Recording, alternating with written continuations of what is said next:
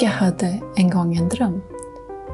Han längtade efter att fånga stämningen som uppstår när månen stod över Gesundaberget och bildade en silvergata i vattnet. Det var det vackraste han visste.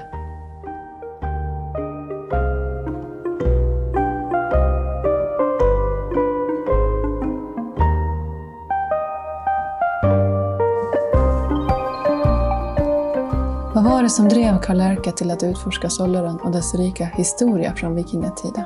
Vad är det som driver människor att följa sin passion? Blir vi präglade från vår barndom?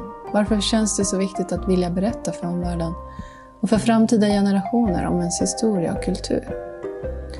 Målsättningen för Karl var att påminna eftervärlden om den rika kultur som lämnats i arv till senare tiders människor, men som han såg brytas sönder och alldeles försvinna.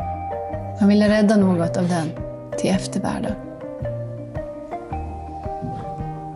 En ensam barndom satte djupa spår i Karls känsliga sinne. Instinktivt sökte han tröst ute bland Bjärsåkerns vikingagravkullar.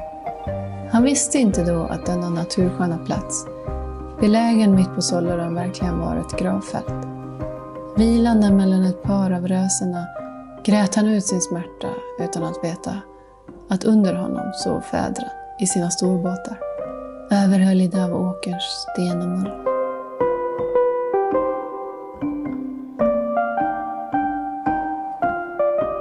Efter sina resor, långa eller korta, vände Karl alltid åter till Sollerön och den kära stugan vid Klikten. Den mark som märkligt dragit honom till sig redan i tidiga år höll honom fången och tvingade honom till kamp och uppoffringar under hela återstoden av hans liv. När Bjärsåkerns högar och rösen på 20-talet så överraskande avslöjades som gravhögar började Karl genast fråga ut de gamla om de hört berättats något särskilt om platsen. Karl-Erke hade med andra ord en stark tro på att det fanns något bortom bergen. En dikt skriven av vännen och diktaren Dan Andersson som skulle komma att prägla Karl livet ut. Här vid Klikten fick Luc Pers en möjlighet under en sommarvecka att fritt skapa en ny uppsättning bilder av dalfolket som lever i modern tid.